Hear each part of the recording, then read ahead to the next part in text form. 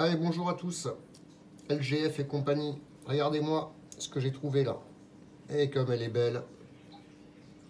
Vous voyez bien les pattes jaunes, hein le cul jaune et la tête orange. Frelon asiatique dans toute sa splendeur.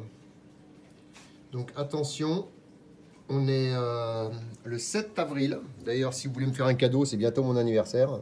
Il fait un temps de merde. Pardon. Hein. Il fait un temps de merde. Et voilà, j'ai ma nouvelle amie qui est là. Voilà. Je suis content. Donc, frelon asiatique, euh, vous pouvez commencer à piéger. La preuve en est, il y en a une. Et il n'y en aura pas qu'une. Donc, euh, bon, il y a plein de tutos sur Internet pour les pièges. Moi, c'est surtout les appâts qui m'intéressent. Et les appâts, pour moi, le mieux, c'est quand même euh, la crème de cassis. En tout cas, pas de sirop industriel. Tesser, pour pas les citer.